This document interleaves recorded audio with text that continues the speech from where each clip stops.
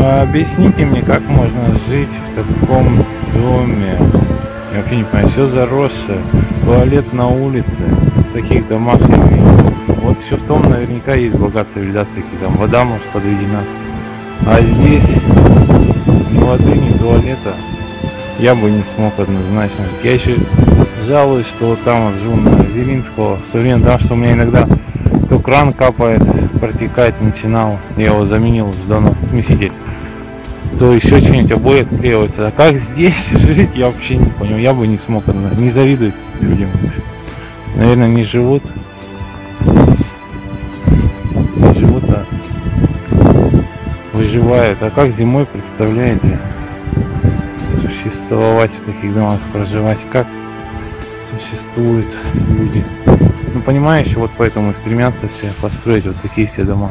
Или переехать в город теперь. Понимаю, все понимаю, абсолютно. Ну, непостижимо. Просто не завидую. Ну, блин, о, вот дом двухэтажный тоже стоит. Деревянный. Ну, как здесь, когда дожди и все. А зимой в тридцатку на улицу, в туалет ходить. Просто вот пазик проехал старина. Вот, блин, а. Классика, старина, б- старое время. Словно вернулся в прошлое.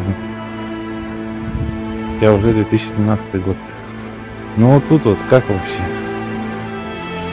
Можно представить себе или нет? В таком доме, чтобы жить. Господи, боже мой. Что это такое-то? Мне просто жалко ну, смотреть на это все и, и людей тем более проживающих подобных домах. Мы привыкли уже к благам цивилизации, а еще и жалуемся, а люди вот и так живут. Вот рядом такой дом, и посмотрите, какой отгрохали тут дом. Вот там еще понимаю, жить можно, на природе тем более. Как дачный какой-то коттедж такой, да? Даже пентхаус, как это все называется. Ну блин, вот в таких вот домах, ну это, это несравнимо вообще. Небо и земля. Ты любовь моя, так можно сказать. Это вообще.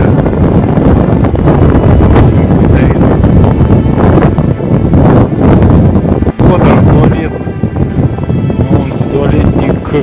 Туалетник, это просто, слеза на глазах наворачивается сама по себе. Ну, ну вот все вот это более-менее. А тут я не могу смотреть на это спокойно. Спокойно. Надо быть более спокойным. И ведь ничем не можешь помочь людям. Потому что денег нифига у самого-то нет. Дворником работаю. Зарплата десятка. В 12 месяц работаю. Все курьером подрабатываю. 12 тысяч в месяц сам-то. Ну как тут вот проживать? Я просто, блин, блин, я не знаю. Все, хватит. Наверное, себя травмировать, психику себе. Надо меньше думать, больше жить. Да, спасибо тебе, подруга. Смотришь на это все и морально травмируешь себе психику. Тут такой дом.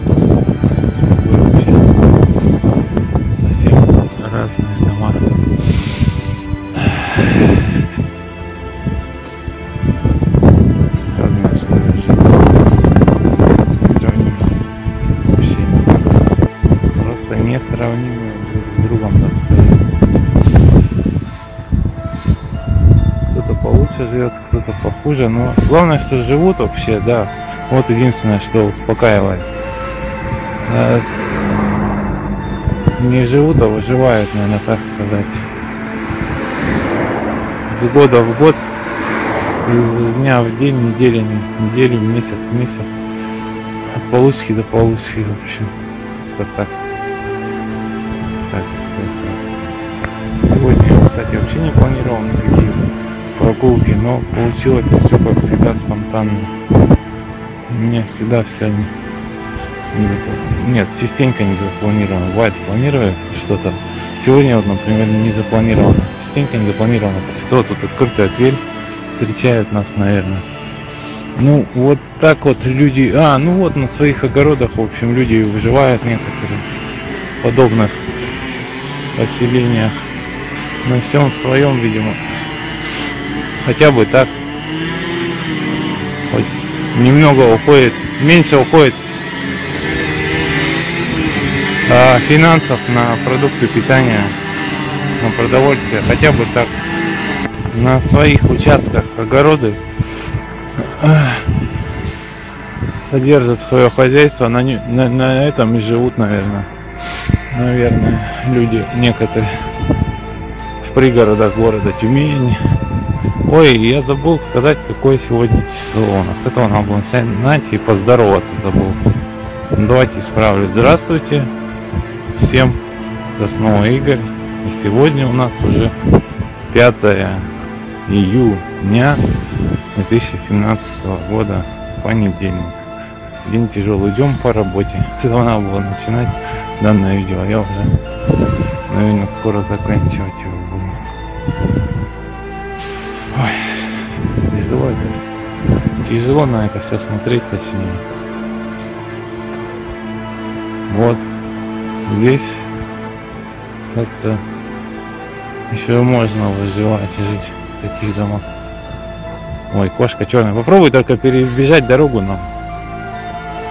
О, там собаки еще устроились. Ну вообще замечательно. Они нас вообще не пропустят. Были уже случаи у нас в одних из прогулок. Скажут, что ты нас снимаешь. Им глаза главное не смотреть. Это, как известно, прямая угроза. Поэтому и не будем махаться, тут надо бы паузу. Вроде бы прошли спокойно, просто надо было успокоиться еще. Не смотреть на них вообще знаете, можно как-то было спокойно пройти. Так-то хрен. Спровоцировали бы и все. Не провоцировать главное, да. И то они там стерегли свои дома, и там еще напротив какое-то дерево было выложено, брусчатка. Поэтому надо было аккуратненько пройти, но мы прошли. Опыт немножко уже наработали. Ну, вообще мать мне рассказывала, главное, чтобы у людей была крыша над головой и стены. А у меня мать сама просто из деревни, я же говорю. Мне уже не раз все рассказывал. А выживать, говорит, человек может жить, э, главное, чтобы четыре стены было и крыша над головой. А выживать, жить человек может, говорит, в любых условиях, потому что человек ко всему, существо ко всему привыкаемое, приучаемое, привычное, вот. Это что такое? Интерсвет? Интерсвет? Не было здесь такого здания. Когда она успела? Я сколько раз ходил. Или не обращал внимания, не замечал. Мы на Тересов Петрак подходим. По работе мне сегодня как раз туда. Да и отец у меня тоже из деревни. Примерно в таком домике жил из глухой тайги, точнее из этого. Ой, тундры всегда путают тайгу с тундрой. Ну да, вот сам он и жил примерно в таком доме. Тут загородили сейчас, мне не показать, хотел показать кое-что.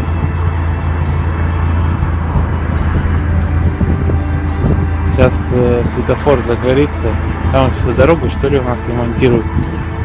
Впереди он, рабочие. Там нас сейчас проваливаться, Тюмень стала, там яма, точно вспомнил. Вот хотел показать. Вот такой раньше мне нравилось смотреть, как люди выкачивают э, ну, говновозка по-русски говоря. Э, коды нашей жизнедеятельности, как из ям выкачивать люди в детстве, в деревне проживали, когда нравилось смотреть, не знаю почему, как люди работают, потому что сам-то не работал. Теперь это, ну, конечно, неприятная работа, особенно запахи. Не совсем приятное зрелище. Кстати, еще насчет собак хотел сказать.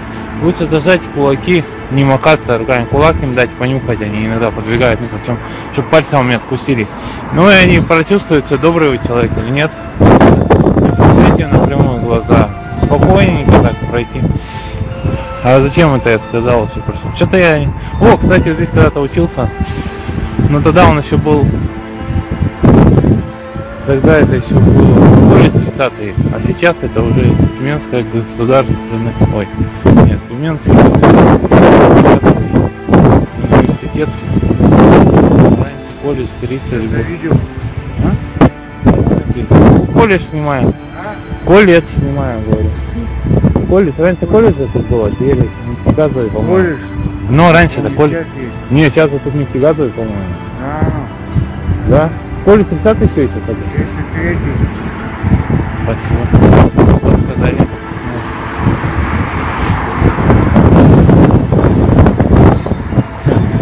Не знаю, по-моему, здесь нефтегазовый был.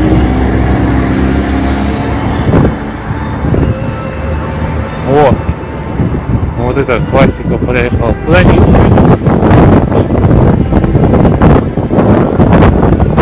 Так, можно найти еще. Еле живая.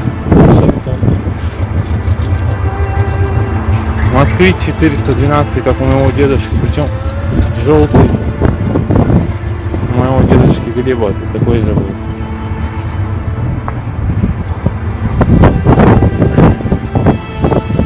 Еле одежда. Так, ну все, пришел.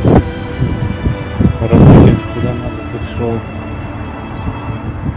Ну а вот и любимая копейка нарисовалась. Это классика, классика. За что я тебя так люблю, и сам не знаю. Ну-ка посмотрим. О, какой плетенный руль. Охренеть. Просто нет слов. Вот это ретро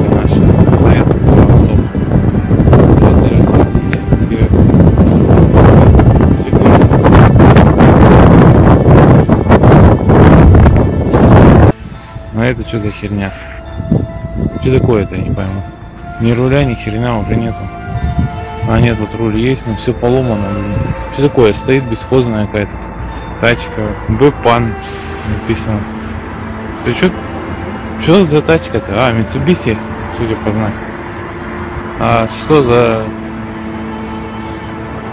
О, господи, вся убитая. Да что? Это старая вообще тачка. Да что за марка-то? Я ни хрена таких и не видел авто еще. И колеса у данной тачки все спущенные. Вообще какая-то вся убитая. А, да, это, наверное, вот видел. Прогулки по пригороду города Тюмень. По городу Тюмень. Под номером, под условным номером,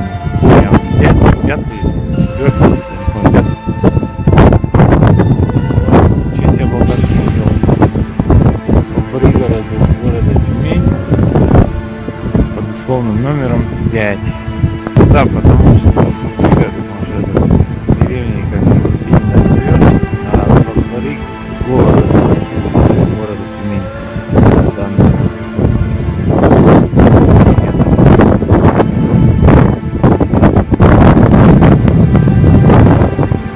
старых домиков похожие на деревенские. Это не